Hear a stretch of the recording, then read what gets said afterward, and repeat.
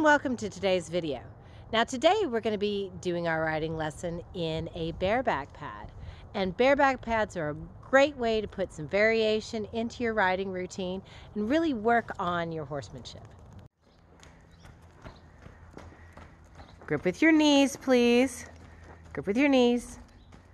Just relax. You're squeezing. She's she's acting a little irritated for you.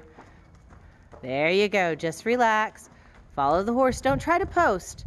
Stay with a sitting trot and follow the horse. We're going to use the bareback pad, so you're going to squeeze with your inner thighs to hold on and your knees to grip, okay? So grip with those knees. You should feel it as you're going. You're going to loosen your hips. Sit up straight. Okay. Drop some mane. Put your hands out. There you go. Keep her walking. Stay balanced if you can. Sit up straight, look forward. There you go, good job. Use that inside leg. There you go. Okay, reach up.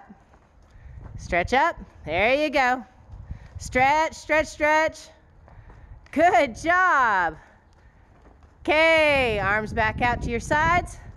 Now pivot in and face me. There you go. Kind of try to face me with your upper body. There you go. Now look towards the hand that's in front. Look towards the hand that's in front. There you go. Good. All right, now pivot around to the outside. Good. There you go. Good job, Summer.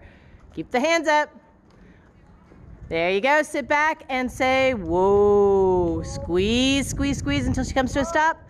Ooh. There you go. Good job. That was really good. Okay. No stirrups, no problem, right? Pick up a trot. Come on. There you go. Sit up. Now remember, don't try to post. Just follow the horse up. Use your outside leg. Or I'm sorry, inside leg, outside hand. There you go.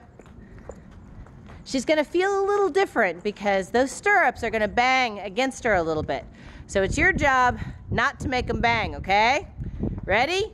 And pick up a trot. There you go, come on. well, this isn't working quite as well as I would have liked. Circle first. Now you sit back, outside rein, pull and bump, pull back and bump, pull back and bump, back and bump. There you go. Open the door and come on, back and bump, back. Don't let her go forward. You are trying to get, okay. Now you're gonna turn around, tip her nose to the inside.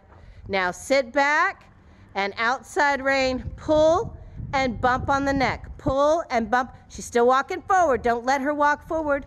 Pull and bump with the outside rein. Button number one. She's not opening that shoulder. There, there. So much for joining us on today's video. We hope you enjoyed it. And if you want to see more, check out our playlist.